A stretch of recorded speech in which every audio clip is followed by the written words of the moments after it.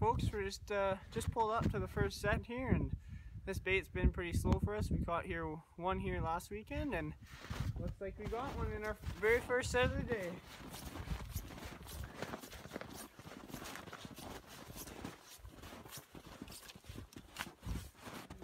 Looks in pretty rough shape here.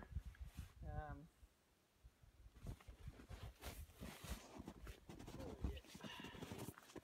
oh, take a look at him.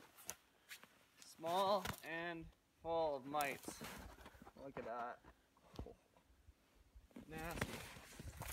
But it's a catch, so that's good. I'll give you a little better look after we get them out here, but very first set of the day, hey, that's all right. So here's the first catch here. Just a tiny little coyote, and uh, he's pretty nasty here. He's got shoulder mites, so if you don't know, this is what the regular fur looks like down here. It's still pretty matted up down in there, but and then you can tell right there, all the way up from his neck here, all the way down. So that's shoulder mites.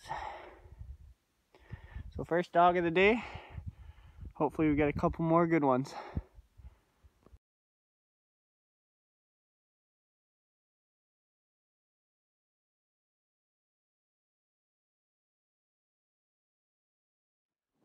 Hey there folks, well, uh, same day here, we're just doing our check of the snare line and it's been slower than I thought. We checked two more baits after that first one there where we caught that first dog and uh, didn't have much action at those two, so but at the fourth bait here, we just set it up last, I guess just three days ago now, so, and uh, looks like we got one here.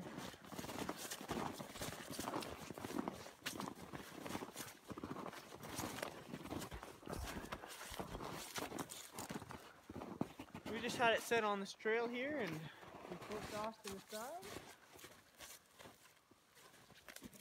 Hopefully he's a good looking dog. Hopefully here. fingers.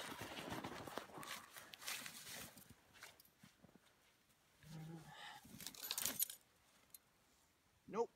Another one of shoulder mites. Well, that's too bad. Come take a look here. This guy's not nearly as bad as the last one, but definitely got it. Once again, you can look here, and then right here, mid-back, he's got no hair at all, so it's too bad. This one's quite a bit bigger, so would have been a nice dog, but yeah, you gotta catch these ones with the shoulder mites to get to the good ones. I mean, last check here, we caught three up here, and none of them had shoulder mites, so yeah, too bad, but maybe we'll have a couple more out here for you.